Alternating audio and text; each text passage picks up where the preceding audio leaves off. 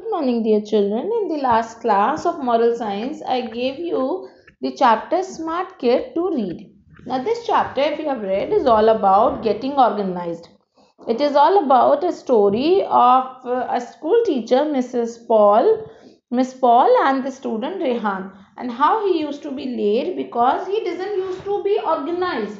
All his things were on wrong places. His bag was disorganized, his things were disorganized and early in the morning when you need to reach school he used to miss things. So now we'll read the story and then we'll as i have given you already to read the story. So we'll i'll explain you the story and then we'll continue with the exercises. Now one day rehan was late for school. His teacher miss paul asked him why are you late rehan? Rehan said teacher i could not find my pen box this morning. I searched it, searched for it for a long time in my house. Now he was searching for a long time in his house, but he was not able to find it. After two hours, at last I found it on my brother's bed. So where he found it? He found it on brother's bed. Now one thing I would like to tell you children that as we have very limited exercises in this chapters and in the moral science, we will be giving you in the exam exercises from between the chapters who said to whom and different different things so for that it is really important that you all mark these things like if we say teacher i could not find my pen i can ask you who said this to whom then you need to answer that this was said by Rehan to the to Miss Paul.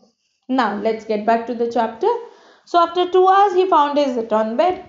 That was his answer. That day, the teacher accepted his answer. A few days later, Rehan was again late for school. This time, he told a funny story. He said, Teacher, I could not find my shoes this morning. I searched for them in every corner of the house. Then the teacher asked, Miss Paul asked, Where did you find your shoes then? Teacher, Rehan replied, I found one under the bed and other on top of the car cupboard. Now one was under the bed and the other was on top of the cupboard. This was really, really weird. Funny, but more than funny, it is weird. Why? Because that means Rehan never keeps his things properly. He is not paying attention to organize the things. Okay. Now can you see in this picture if I show you there is a bag next on page 32 next to the bed there is a bag this is an unorganized bag. Books are out it is open things are coming out. No. You should know how to keep an organized bag. It may be open. One side a pencil box should be there book should be kept. Then you should have a side in the water bottle one lunch box. So it is an organized bag as you bring to your school. So now mrs paul asked how did you know? She asked how did you find the shoe? So, uh, shoes come to be in the wrong place. Now, she asked, How did the shoes come to be in wrong place? How can be one shoe under the bed and the other on the cupboard? So he said, Last night I went out for dinner with my family.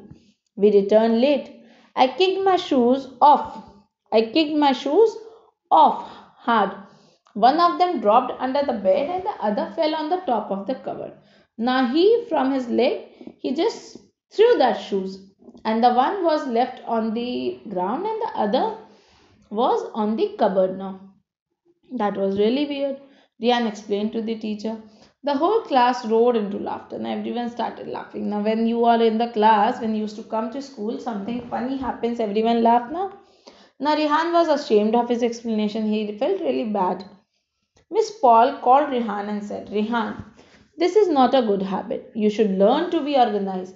You must keep your things at proper places before you go to bed. Your bags, books, shoes, and pen box must be ready before you sleep. In this way, you will not waste your time searching for them in the morning. After coming to school, now, uh, so before coming to school, he will not search for them. He, these things should be organized. Rehan and his classmate learn an important lesson on being organized.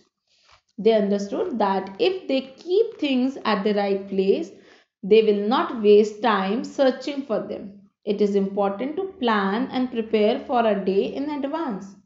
It saves times and make the day more fruitful. Now, in the morning, if you hurry up, are derori, derori, run, run, run, then it will waste your time. If you keep your things organized a day before, then it will be helpful for you also and to, it will save your time also. So, what is the moral of this story? The moral of this story we will not waste time in finding things. We can plan our routine and save time. So, the moral of the story if we plan a routine, we will save our time. Now, let's start with the question and answers and fill in the blanks. So, and do's and don'ts, what it means and what it doesn't mean. So, for the explanation, now in the next video, you'll find the along with this the question answers and fill in the blanks. Okay, children, see you in the let's start with the other video okay bye